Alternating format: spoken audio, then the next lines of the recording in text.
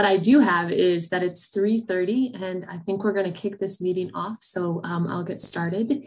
I just wanted to thank everybody for joining us today for HMSC's research seminar. My name is Cinnamon Moffett, and I am the research program manager at Oregon State University's Hatfield Marine Science Center, located in Newport, Oregon, and I will be one of your hosts today. Uh, a couple of logistics, which you might have already found out if you are not familiar with our format, is this is a Zoom meeting. However, we have your mics, cameras, and screen shares disabled.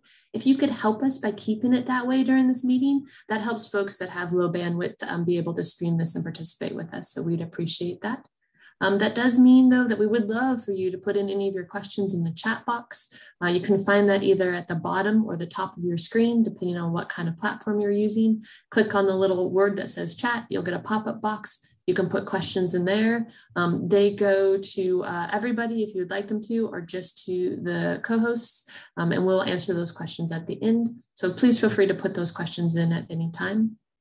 Um, I also wanted to let folks know that we are recording this event. It will be up in a couple of days on the HMSC website under Visit Hatfield Past Seminars. So if you're curious about that or you would like to share it with somebody else, feel free to find it there. Give me a few days. It takes a little bit to get it processed, but then it'll be up and on that site.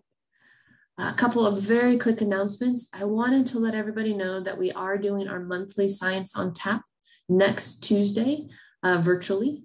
Uh, on April 20th, we have Vera Trainer from NOAA's Northwest Fishery Science Center who will be talking to us about why are the crab and clam fishery closures happening at a greater frequency over the last few years, exploring harmful algal blooms and if they're getting worse over time. So that'll be a really interesting talk. So if you're interested in that, um, please join us next Tuesday. I also wanted to let folks know that um, same time, same place next week. Believe it or not, it's already April 22nd. We have McKenna Haney from OIMB at uh, University of Oregon, who will be talking about her graduate work with basket stars. So if you're interested in that, um, feel free to join us next week. Um, and if you need information about um, any of those talks or any of our upcoming events, or you need any login information, you can go to HMSC on Google or whatever platform you use hit our homepage, scroll to the bottom, and our calendar of events is there, and all of the login information will be available to you.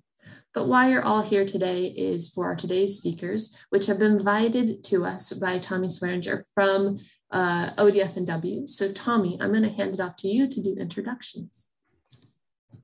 Thanks, Cinnamon. Our two speakers today are Max Nielsen Pincus and Kaegan Scully Engelmeyer. Uh, Max is an associate professor and currently the chair of the Department of Environmental Science and Management at Portland State. Max's research and teaching focuses on the human dimensions of natural resources and environmental management.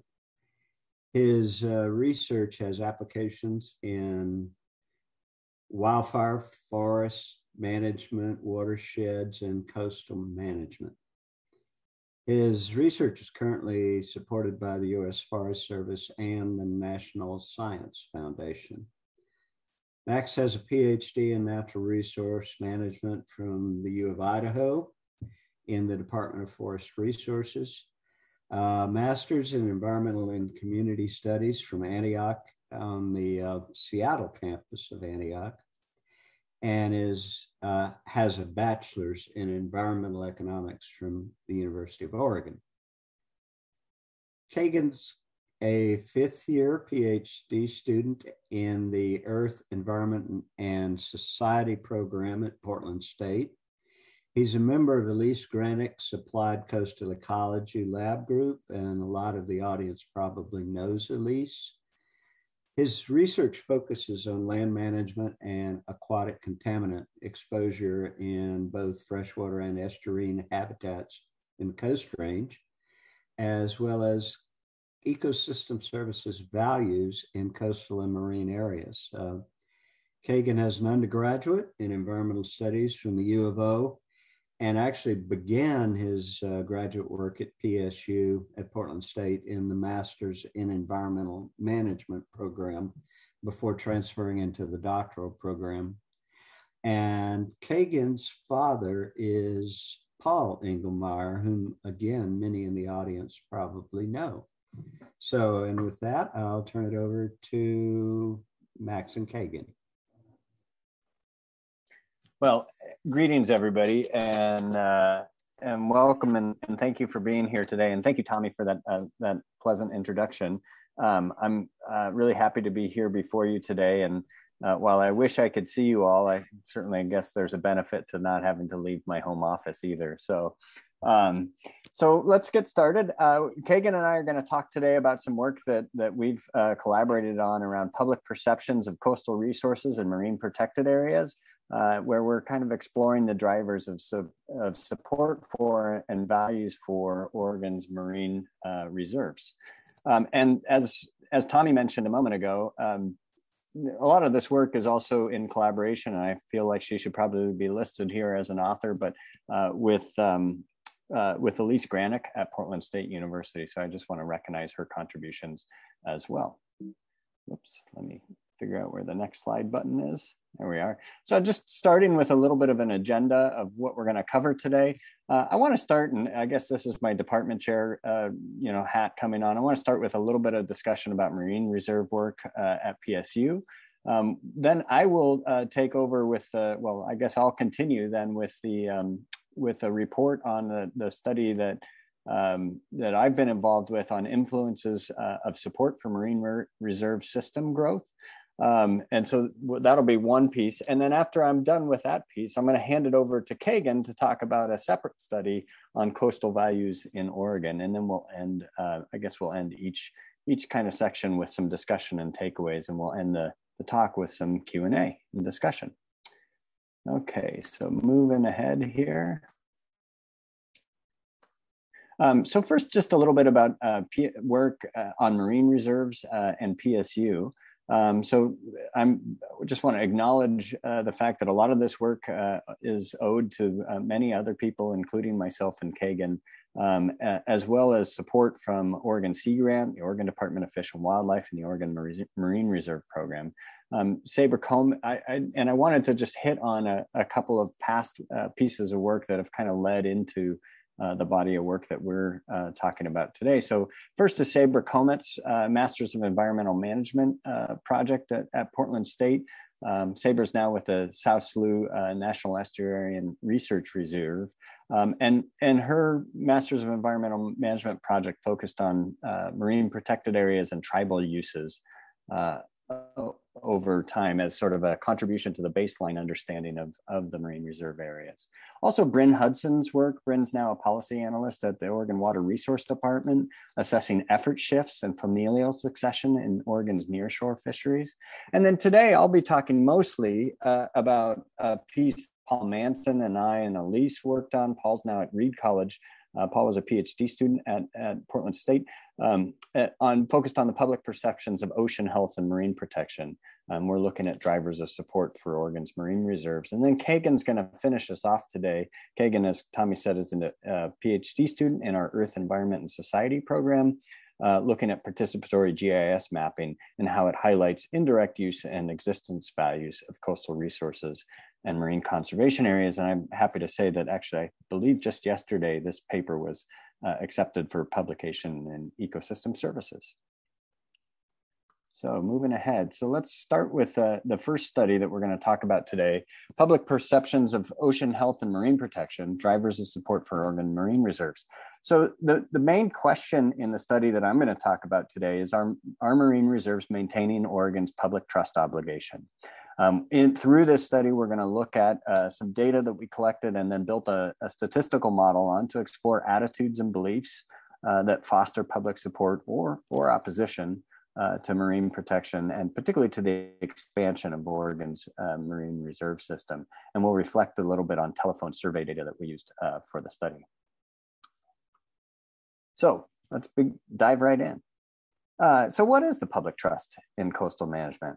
Um, well, if we look through the literature, the public trust generally uh, identifies, or uh, the public trust doctrine identifies that the public trust is based on having generalized benefits. Um, public re resources must be man under the public trust doctrine must be managed for the benefit of the general public, while also balancing the need, uh, the needs of across many specific users. Um, and historically, you know, those needs and the public trust resources were really focused on traditional marine uses, at least in the marine context. So things like navigation, commerce, uh, fisheries, uh, et cetera. Um, and but that's in recent decades has also been expanded to include recreation, aesthetics, ecology. Um, but as as Sax writes about um, as early as the 1970s, that these uh, sort of expanded public trust resources um, often come with a some somewhat disorganized or uh, and potentially diffuse majority. And a, a, great example of that expansion of the public trust resources um, in Oregon is Oregon's 1967 beach bill, uh, which created public access and, and use for all of Oregon's beaches. Okay, so let's look at Oregon's marine reserves. I probably don't need this slide in here with, uh, with this audience, uh, but just to make sure that we're all on the same page. Um, or, Oregon's marine reserves, ex, um, Oregon extends the public trust doctrine to, to marine conservation through its state responsibility for conservation, maintenance, and enhancement of aquatic life, fish, and wildlife for present and future generations. And to do so, Oregon created uh, five marine reserves uh, and nine associated prote marine protected areas. Each reserve has its own management plan, and as I'm sure you all know, has a scientific monitoring component to it. And in some ways, this project is, is part of that monitoring component. ODFW is, is the lead agency for managing the marine reserves, but it does so in partnerships with other state agencies as well as uh, um, university partners and others. Uh, in total, uh, Oregon's marine reserve system covers about 9% of, of Oregon's territorial sea or, or that part of, of Oregon that, um, uh, or that part of the, the ocean that extends three miles uh, out from the coastline. And you can see it arrayed in the, in the map on the right. A little bit of background on support for marine reserves. Um, what do we already know about the general public support and balancing specific uses, so those public trust ideas? Uh, some research by Mark Needham and colleagues and uh, reports and publications in 2013 and 2016 identified that 69% of coastal residents, as well as 90% of I-5 corridor residents would vote to establish marine reserves in, in Oregon. Um, so high majorities there. Urban residents, uh, at least in Johnson's 2020 publication, uh, thought of marine reserves as really akin to terrestrial wilderness areas. And I think there's some opportunity for discussion about what marine reserves are there. Um, at the same time, and, and so we see some of that general public support, but at the same time, we see uh, on the balancing of specific uses, we see some negative attitudes about marine reserves. Uh, and as well as individual impacts in, in the commercial fishing, fishing sector. Um, and there's some been some reports and publications uh, on that um, particular issue. Yet, nonetheless, at least according to Marino in 2015 and then Bryn Hudson in 2018, um, that we haven't seen documented evidence of a broad effort shift in uh, the fishing sector uh, as a result of the marine reserves. And then finally, I noted uh, Kreg Lindberg's uh, recent study and, and, colleagues, his recent study that looked at coastal residents uh, and found that in a choice experiment, they, they had less than 50% uh, probability or likelihood that coastal residents would choose expansion of marine reserves. But that that that that likelihood of, of choosing expansion was really influenced by the costs and perceived impacts to fishing sector jobs that were um, available in the in the scenarios that that uh, Lindberg and his colleagues presented to their respondents. So we see some some support. We see it in different sectors here, geographies. We also see some, uh, you know, increase, you know, some need for that balancing uh, across different uses and different communities as well, uh, continuing here. So what did we want to do? Well, we wanted to look across Oregon in general uh, and understand how Oregon general, Oregon's general public support varies by things like their awareness of marine reserves, their residency, so what part of the state they lived in, uh, by the perceived threats they see to the ocean uh, or coastal areas, as well as the accepted uses that, that people um, uh, assign to the ocean. So that's what we're going to dive into next here. Um, I'll start with a little bit on methods. We did a telephone survey. These are not us, but I thought it was a funny picture. Uh, we weren't doing this over Zoom. We were actually doing this in March, uh, mostly March through June of 2016, uh, with a little bit of follow-up uh, in, in the following 2017. Um, so before we were all in Zoom land. Uh, we had a random sample of uh, 3,365 landline and cell phone numbers, and we called all of those numbers. Um, there's a lot of phone calling. Uh, and screen people uh, for those who could speak English uh, and those who had resided or at least reported that they resided in Oregon for at least 12 months. Um, we developed a, a questionnaire um, and we also did some some testing of different modes, and I won't talk about that, but we, we came to this, our, our final mode of the, the telephone, random digit dial telephone survey after some pre-testing uh, and, and cognitive debrief on, on the questionnaire as well. The questionnaire itself asked questions around marine, uh, uh, ocean and coastal uh, issue awareness, as well as um, Oregon Marine Reserve awareness, perceptions uh, of respondents uh, about or ocean health, as well as what acceptable uses uh, were of the ocean and threats uh, to the ocean to ocean health. Um, we asked about things like coastal visitation, residency, income, political party, and a, a number of other demographic issues. And then finally, we asked a, a sort of vote question. Um, essentially, if there was a, a measure on the ballot to increase the number and size of reserves in Oregon, given what our respondents knew about the Marine Reserve uh, program and, and the system of Marine Reserves, would they be willing to vote for uh, a Marine Reserve, an expansion of the Marine Reserve system in the future? So who responded? Well, we were able to reach out to 2,272 phone contacts. Um, those were positive uh, contacts that we made, and we had 459 final participants, about a 20% response rate. Not, I'm not thrilled with the response rate, uh, but it's also uh, fully in line with response rates of, of other similar studies. We found uh, that the, the respondents we got roughly matched the state population distribution, and you can see that in the table here. Um, about 70% of our respondents came from the Willamette Valley and 72% of Oregon's population lives in the Willamette Valley. We had some overrepresentation to, from coastal areas, um, probably representing the salience of the issue to coastal communities. Uh, and you know, pretty similar, uh, pretty um, matched representation from Eastern and Southern Oregon. We did see some biases in the data uh, as far as older, more educated, and fewer Hispanic um, uh, respondents than in the state population. Uh, these are similar to, I think, a, a, lot of survey biases that we see in, in other places as well. And of course, our speaking English uh, requirement may have played a role in, in uh, the um, lesser uh, participation from Hispanic residents. Um, a little bit on our summary of our responses. 89% um, of our respondents had visited the coast uh, within the last year. 13% were coastal residents. Um, on ocean and coastal resource issues, 18% uh, of our non-coastal residents and a majority of our coastal residents described themselves as well or very well informed. You see that same kind of disparity when it comes to Oregon marine reserves, but overall people are less informed about uh, marine reserves. Uh, and then finally, um, we saw that we, we found that 59% of our respondents uh, would vote yes to expand Oregon marine reserves. But there was a difference between what non-coastal residents and coastal residents found. So 61% of non-coastal residents uh, suggesting that they, they would vote to expand, whereas um, not a majority or 44% voted, su suggested they uh, would vote to, of coastal residents said they would vote to uh, expand the marine reserve system. Um, we also found about a quarter of non-coastal residents and 17% said they did not know. And that 44% of coastal residents uh, who said they would vote to expand represented a plurality of coastal residents.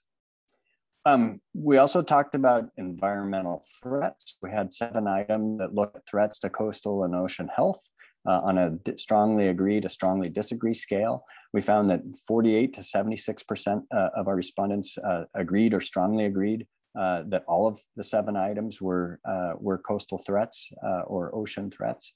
Um, and with only 48% agreeing that overfishing was a problem, whereas 76% found that marine debris was a problem. Um, we used an exploratory factor analysis approach to, to group these threats into different groups. And we see two major groupings, one around ecological integrity, so things like species loss, habitat loss, climate change and overfishing, and another around environmental quality, so things like pollution, marine debris, uh, and introduced or non-native species. Um, we also asked about acceptable coastal use and ocean uses. Uh, and we found that among a number of items, uh, we had uh, a majority of support, both within our whole sample, but also among coastal respondents as well.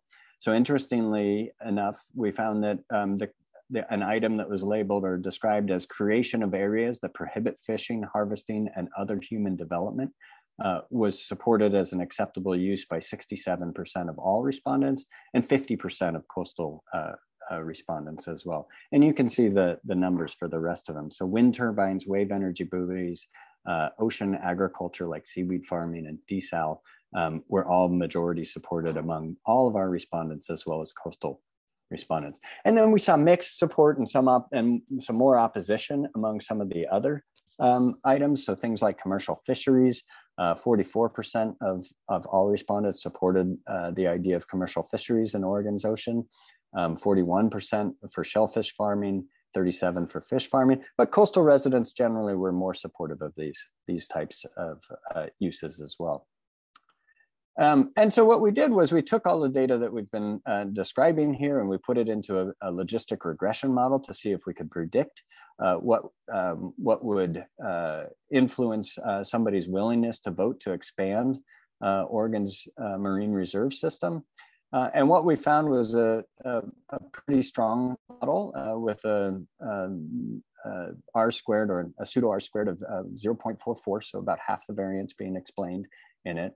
And things like those perceived threats to ecological integrity uh, would increase the likelihood uh, that people would vote. So the more somebody thought there was a threat um, to the integrity of uh, ocean habitats uh, or species um, or the ocean ecology, uh, the more likely they would be to support um, uh, the expansion of the marine reserve system. Similar with supporting for support for limiting human uses, no surprise there. Um, also, the more informed somebody was, uh, the more about Oregon's marine reserves, the more likely they were to support it. Although you can see from the line here, and I think you can see my cursor here uh, on the line, it's a little bit flatter than some of the others, so not quite as uh, powerful of a of a determinant. On the flip side, um, we had three variables that came out as being uh, negative or, or things that would um, that would reduce one's likelihood uh, to vote for expansion. Um, so those were support for commercial fishing, uh, Republican Party affiliation, as well as coastal residency. And so you can see how those uh, influence on the bottom row here, the likelihood that somebody would vote for uh, expanding Oregon's marine reserve system.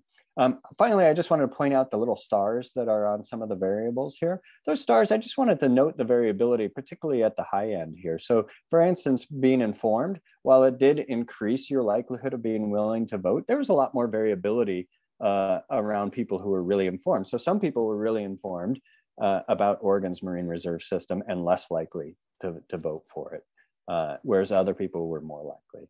Um, similar with the Republican Party affiliation, and, and here you see uh, at the high end, and that a two was our code for strong Republican uh, ideology.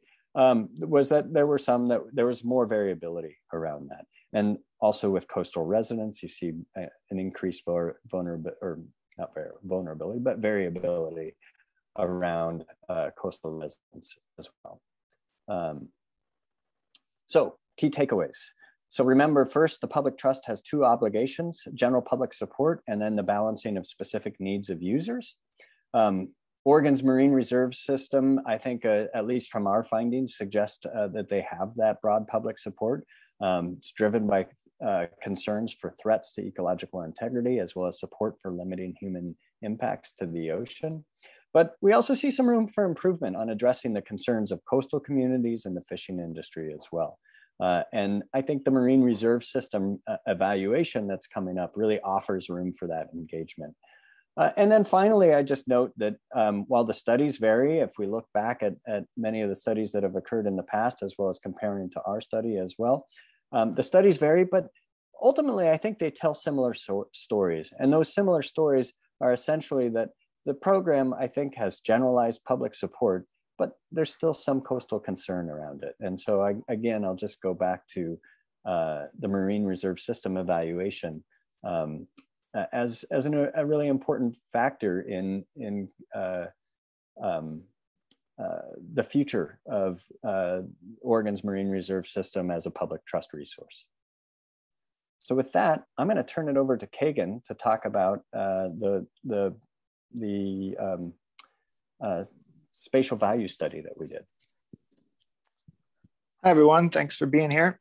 Um, yeah, so I'm going to talk about a participatory mapping uh, survey that took place um, a couple years back. And um, the goals of this project uh, were to explore the values held more generally by um, Oregonians, but explore them uh, spatially in an ex- spatially explicit way and uh, targeting marine and coastal areas. And so to approach this project, we asked um, whether values and locations of importance placed on these in the mapping exercise would vary based on where the uh, respondent, uh, the home region of the respondent. We also were interested in understanding how the awareness and opinion of the Marine Reserve program and marine conservation areas, um, if that had any impact on the types of values uh, that were placed during the survey. And then finally, we wanted to understand whether the marine values placed within the marine protected or the marine uh, reserve network, if they differed from coastwide averages in that um, there were larger amounts of certain types of values placed. And um, so just to get do a little background to conduct this survey, go to the next slide.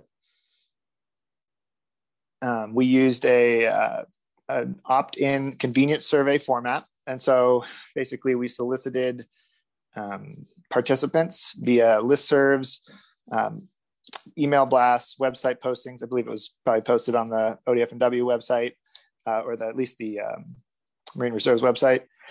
And so uh, folks were prompted to use uh, a Google Map format to place value pins in locations that they um, valued for um, a variety of different reasons. And we had 15 different value categories that I'll get into in a second. Um, and so the mapping format had uh, included place names such as rivers and cities, but it did not include the uh, boundaries of the Marine Reserve or Marine Protected Area Network. And this was done to sort of unbias folks' um, opinions around those types of um, designations and also gain information about those resources without those designations presence. and so beyond the mapping um, of values themselves, participants also entered demographic information, and then they also answered a series of questions about their awareness and support for uh, the Marine Reserve Program. Go next. So the values themselves, we broke out into three main categories, or two main categories, three subcategories. And so the first category um, is use values. So you can go next slide.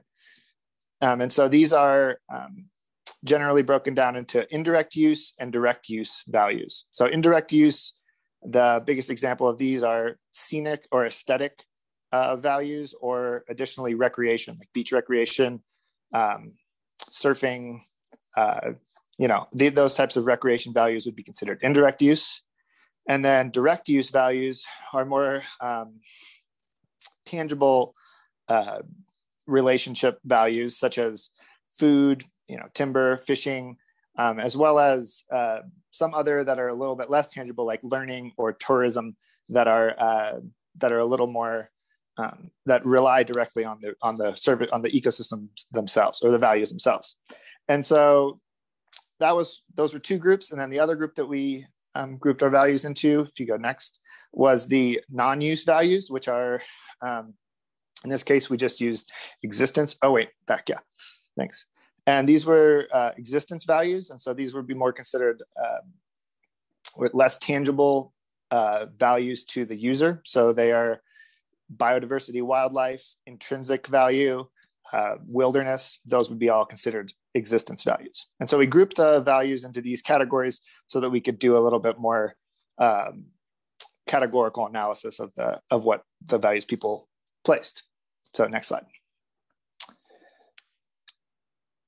So the next thing that we did, so we gathered information from um, folks prompted on coastal and marine resources. We excluded pins that were outside of the marine pins that were outside of the contiguous zone, which is um, 24 nautical miles offshore. And then we excluded land-based pins that were um, inland of the Oregon's coastal zone, which is highlighted in blue and generally follows the Coast Range Mountain, except for I guess in the southern coast. But um, so we excluded those pins, but I just like to say there was a very minor amount of pins that actually got excluded in this way. So next. So next we um, we grouped the respondents based on those that opted to include their zip code in the survey response. So we based them on the regions of Oregon so that we could compare how different regions um, responded to or interacted with the coastal resources. And you can see it's broken up sort of generally by county, except for Lane County and Douglas County, which are sort of cut off to um, keep the mid coast from the Willamette and southern coast um, regions. So we grouped people like that. And next. And so in terms of response, we got, um, we had a total of 244 respondents and respondents placed on average 33 pins per person. There was a range, but that was the average.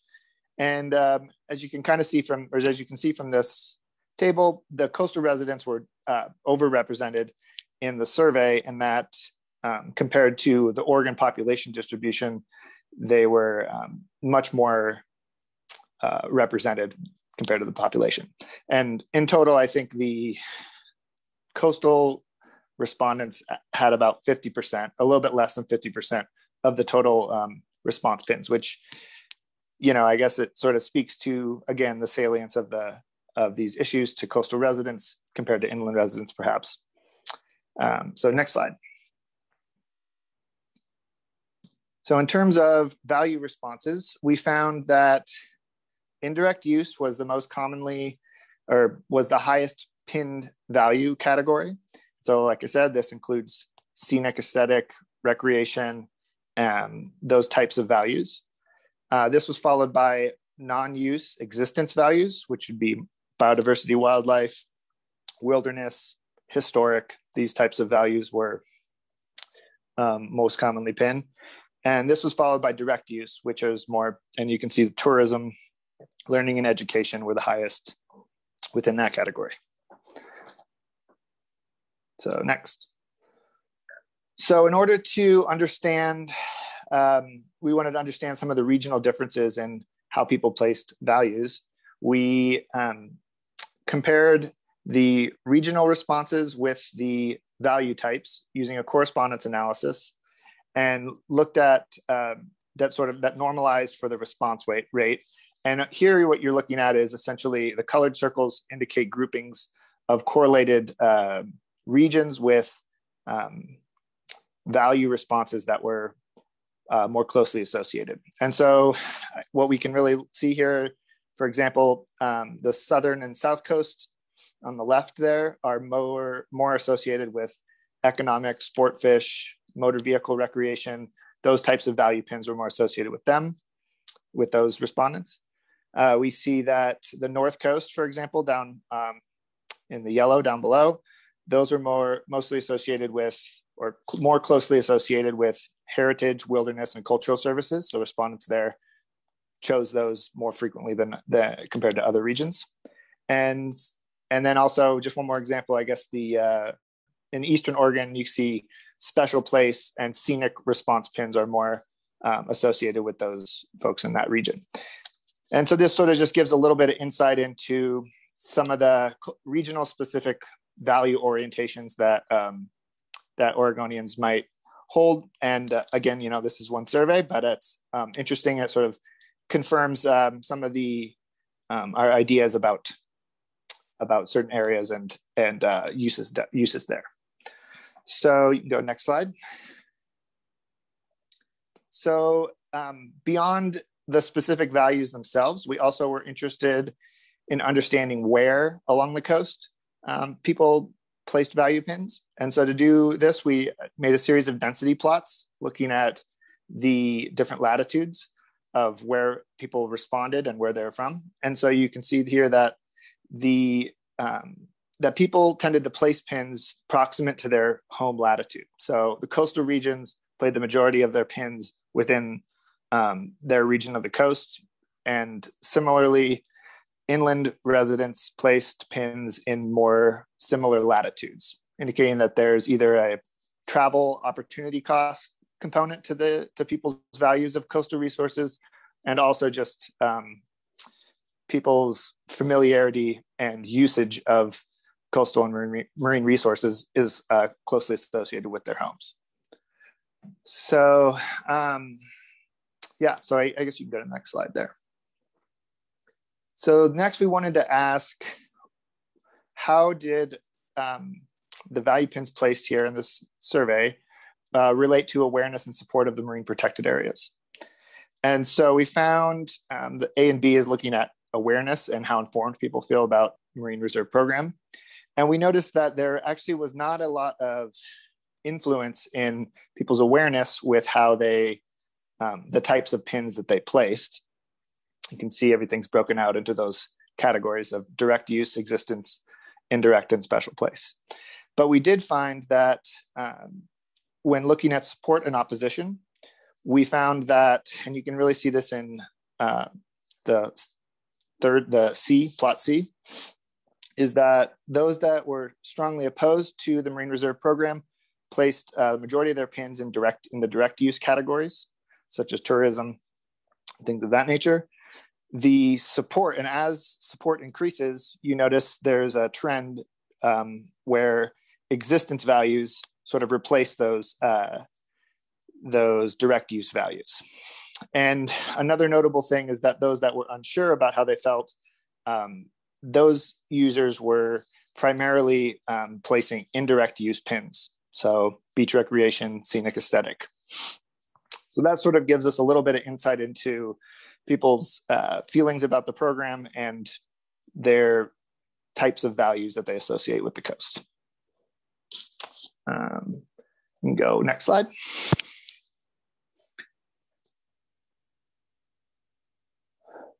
so that was that gave us some insight into um, how individuals interacted and felt about the the coast. And so then beyond that we wanted to understand we wanted to look at um, within the marine reserves themselves which were not um, shown in the mapping exercise how did um, what values were placed inside and whether they were different than uh, the coastwide averages. And so we use the territorial sea which is um, three geographic miles off of the coast as our um, population or as our population and looked at the marine reserves and compared with that um, coastwide average. And so in this analysis, we just see that, or in this table here, we just see that um, existence pins overall in the marine reserves were elevated compared to the coastwide averages. And um, just another note here is that you know you can really see with the clustering here that there are specific features within each area that tend to draw the most pins and the specific types of pins also clearly um, but that that really drives the values um, the value placements within these areas. And so that was really interesting to kind of see. So i think i guess just to do a little summary and go next slide here. We saw that um, that there we did notice that there were connections between the types of values that people held for coastal and marine resources and where they resided in Oregon. We found that closer areas um, tended to, with more similar latitudes, tended to receive more pins, which makes sense. Um, but really, what this highlights is that people interact with the coast differently, and there are many opportunities to engage both different user groups, but also geographies within um, Oregon on coastal issues, and also gives a little bit of insight into which values they associate with with the coast. And uh, in terms of the marine reserves, we found that support and opposition for the Marine Reserve Program translated to value types, in that those opposed were more um, likely to be direct, in, to place more direct use uh, values on coastal areas versus those um, in support and that overall existence values, so biodiversity, wildlife, wilderness, those types were elevated from coastwide averages. So, um, like uh, was just mentioned, this paper should be out before too awfully long, hopefully. So, if you want more detail on any of those specifics, um, that will be available soon. But I would also just like to say that uh, this type of survey, this PPGIS, is the public participatory GIS, is what um, is commonly referred to as a very useful and generally underutilized tool. And uh, it has a lot of applications. So in this case, you know, we are looking at a large group of people, um, but also it can be used to generate really interesting spatial data um, from specific user groups and or um, specific areas that um, are right for study. So um, with that, I think that's all I really have, and we can open it up. Or Max, was there anything else you wanted to say other than thank you? No, that's great. Thank you uh, all for for uh, sitting through that with us. And I think we've got about twenty minutes or so uh, for Q and A or for discussion or what have you. So um, I was going to say, Cinnamon, I don't see anything in my chat, so you must have the controls on those. But um, if you've got questions, I'd say, you know, or, or discussion points or thoughts that you want to bring up uh, and have a conversation with us, um, put them in the chat. Or I think you can also maybe, I don't know, Cinnamon, you'll correct me if I'm wrong, but you might be able to unmute yourself uh, and just directly ask and we can have that conversation. So thank you guys. Yeah, I really encourage you. At this point, I don't have any questions in my chat either. Um, so I encourage folks that have questions to put them in. I had a quick question that was just more of a detailed question, and I can read the paper if if uh, we want to wait. But I was just going to ask it since we had time. When you're talking about um, your PPGIS research, uh, Kaegan, um, how do you deal with the non-randomness of those that respond?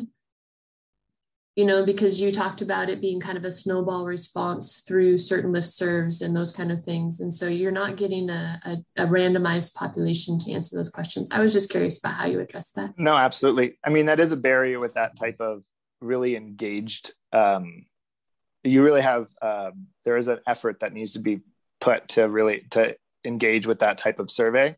And so that's just something that has been um, talked about in the literature a fair amount we didn't normalize our data for that.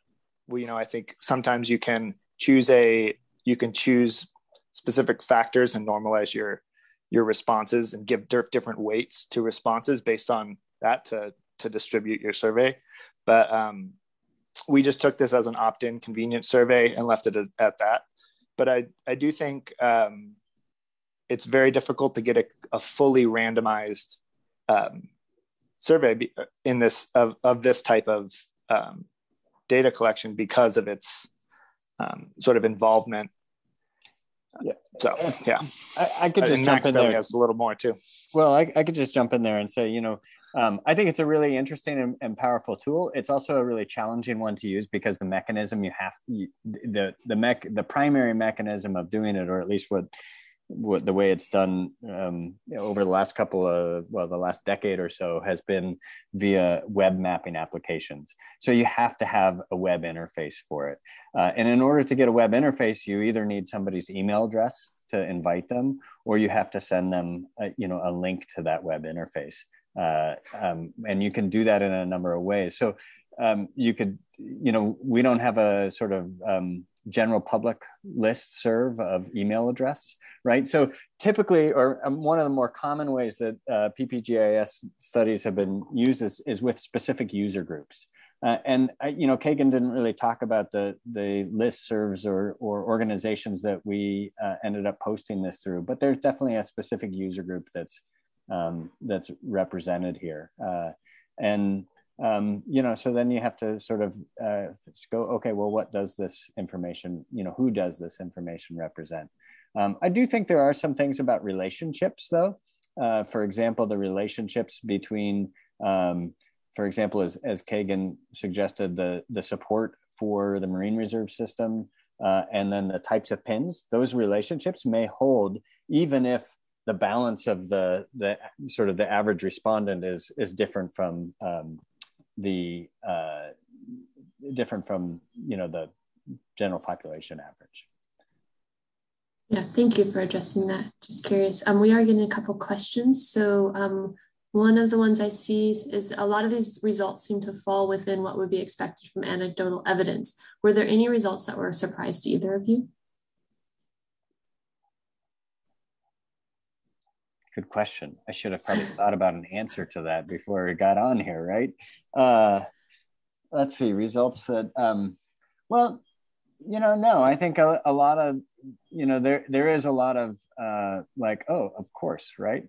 Um, uh, to to the results that we saw. Particularly, I, I think in the the survey that I presented, those results um, they they fall along the lines of what I think our conventional wisdom uh, might be about who would support marine reserves and and who doesn't.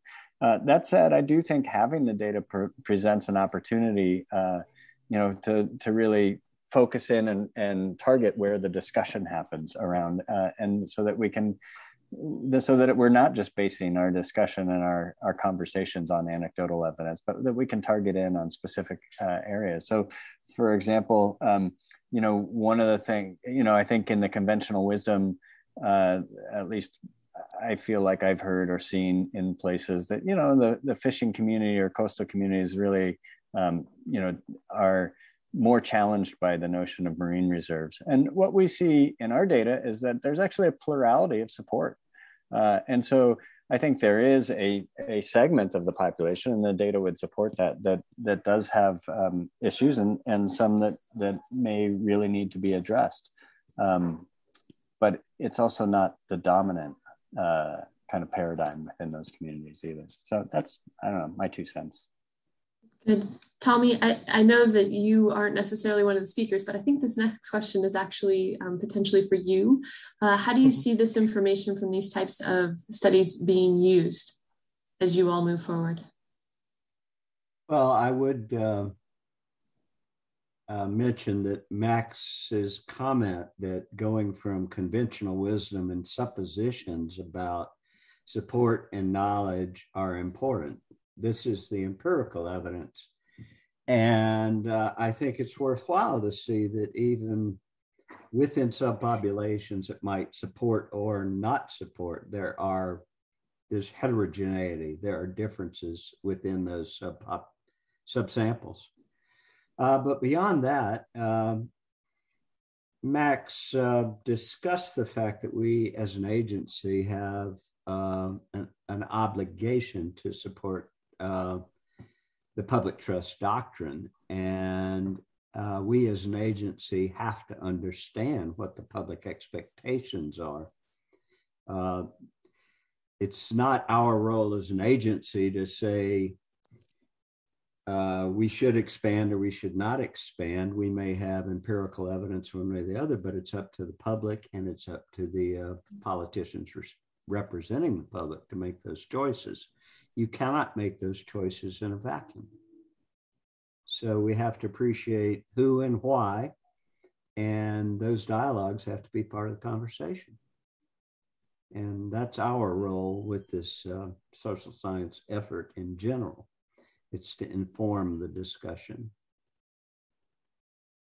Thank you, Tommy. There's a specific question, um, I think probably from Max, about disaggregating who depended on the fisheries directly or indirectly. Did you see that? On whether yeah. you collected livelihood? That's a, that's a great question, Kelly. Thanks. Um, so we didn't uh, collect livelihood data for the the um, you know random uh, phone survey, uh, and the rationale was it was a random phone survey, uh, you know, statewide, and the likelihood that we would uh, capture fishers uh, or fishers' families in that um, was pretty low. Uh, so we didn't, and instead we captured, you know, their attitudes about support for fishing, uh, and so that was our approach. I will say, though, however, Bryn Hudson's work, uh, which we didn't present on today, that's looking at effort shifts within the fish, fishing industry, um, is trying to tease out some of that by looking specifically at fishers uh, and the changes or lack of changes or variability uh, in their effort and their catch, uh, you know, before, during, and after the um, establishment of the marine reserves on the coast. Great. Um, thank you for that. And then, um, Max, for your team, what is like the next project, the next thing that you're hoping to tackle and look at um, along these lines? Yeah, good question. I, I, mean, I think right now is is wrapping up this effort shift uh, um, project, which um, you know Bryn put a, a lot of work into it, but there's a there's just a, a little bit more effort to get it over the line. Um, and so that's sort of the big one that I've been working on and actually been diving into the data somewhat recently. And if I could just make a quick observation on it, um, and and Tommy, I look forward to having more discussion with you about this. But one of the things that, that I've seen in the data is that we, you know, there are essentially two types of fishers that we captured in uh, the effort shift survey, and those are those fishers who don't have a lot of variability in their effort over time, and those that do. And so when you look at the individuals uh, and their, you know, individual fishers and the amount of effort they're putting into getting their catch you know there's some that are just really narrow you know they put in the same effort every year uh, and have the same catch as a result for it. And there are some that are just incredibly wide distributions. And so so really understanding that and how that plays uh, into the establishment of the marine reserves and whether there's an effect there i think is is kind of the next step to really understand what's going on in that sector of the of uh, of the issue and just for folks, um, if you're not checking the chat, uh, Kristen just put in the link to um, Bryn's report in there. So if you want to get more information, you can uh, click in the chat and get that information. Tommy, did you want to follow up? Yeah, I was going to make one comment about Kelly's question about direct measurement of uh, fisheries involvement. Uh, Max did point out we have a separate complete study about uh, effort shift and the impact of the marine reserves and a few other fisheries management issues were part of that study as well. But in addition, we do have direct measures in uh, some of Mark Needham's work and in Kreg Lindberg's study. And uh, we're also trying to look at uh, recreational fishers in uh, some of those data and the other studies as well. Uh, and specifically marine recreational fishers. So so there, those data are there, Kelly, and audience in general. But um, part of that's a work in process. So we'll have additional data this fall related to uh, those um, stakeholder groups and their interests. And uh, I'm sorry, I kind of lost track making that point. What was your question? Oh, I was just going to ask if you had any follow up to um, kind of next steps and what's happening uh, as we, are moving closer to the report and analysis that you're working on. Well, uh, I've already mentioned uh, some replications occurring. Mark Needham's surveys of which are weighted, stratified samples, so we'll get representative coastal uh, respondents as well as uh, the I-5 corridor uh, we'll, we'll be replicating that. And we're talking uh, right now about looking at uh, spatial knowledge to look at how these values that were teased out in this report might uh, work broadly across the coast and see how people, how much people really know about where the reserves are. We know there's that level of support. Uh, have they ever been there? Do they actually know where the reserves are? Or is this just generalized support? And uh, I really want to look at the land sea connections that uh, relate to the participatory GIS exercise mm-hmm. because quite often the reserves are at uh, significant uh, areas of conservation on the terrestrial side. And do people perceive that we have uh, uh, terrestrial land sea linkages here, and how important is that for the public. I'm very curious about that point. Nice. Um, so uh, go ahead, Max. Uh, I was just going to follow up, Tommy, and and and say, um, you know, uh, as far as the spatial awareness issue, I I think you know, looking at the data that we collected in the random digit dial survey, um, there, you know, we, I think it was five percent of of uh, non-coastal Oregonians reported being, you know, well or very well informed about the marine reserve system, and only a fifth, 20% of coastal residents. So my my guess there is that they're not going to see a lot of spatial knowledge unless you know some sort of outreach and connection has occurred in the last you know four years or so since, um, and maybe it has. We we do know there has been increased awareness. Uh, we find that in some of the visitor intercepts. Uh, but whether that translates from awareness to spatial knowledge is an entirely different question. we shall see at some point. All right. Um, I'm not seeing any other new questions. So, uh, Kaegan, any final thoughts for the group before we close the meeting? Um, I did think, yeah, on to Tommy's point about uh, the land sea connection in terms of uh, the the spatial component of these values documented that we um, incorporated there.